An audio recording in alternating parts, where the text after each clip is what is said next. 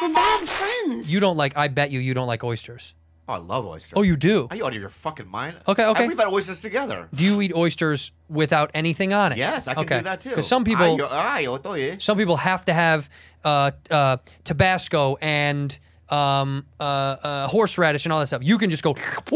I can do that. And am, have I been known to put Tabasco? Yeah. I mean, everybody does. Yeah, yeah, everybody yeah. does. But I'm saying, but you like them raw too. I love anything raw in that way. you know? Really? Yeah. Octopus.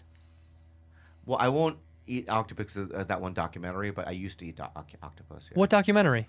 My octopus teacher. Someone. What is that? What is it?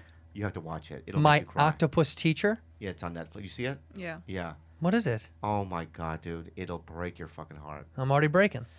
So it's like this um, South African. Um, he, I guess he's a um, video journalist. Like he does like Natural Ge- Geographic shit. You know what I mean? In, in in the tundra, and he's been doing that all his life, and he got sick and tired of it.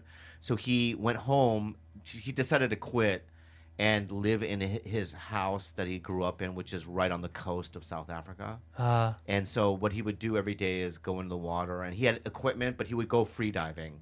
But he would and, and he would film things, you know what I mean, like underwater sea creatures. sure.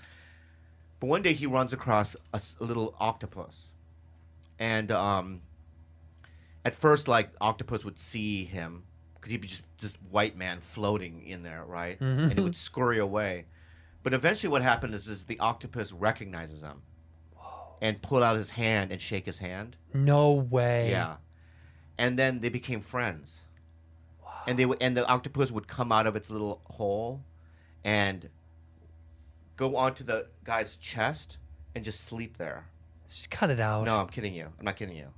They were friends, right? Yeah. And the octopus would get excited to see him, so it, it has that kind of um, sentient, you know. Um, So it- It's got an understanding. Understanding of, of- wow. yeah. How do you know? How does it get excited? Like all of its arms start waving? How Yeah. do you- that's how it gets excited. and they would play too. They would tag, tag, and they would swim around and Stop it. Yeah, and, and play around and stuff. really? Yeah, and then um, Are those arms and or then, legs? And then um, I have to say, there's a scene where um, he has sex with the octopus. no, no, no, No? a shark comes along Oh boy. to hunt the fucking octopus when he's already befriended it, and octopus, uh, uh, the shark bites the octopus in the arm, rips Mm. op- an arm, and the dude's just filming Yeah.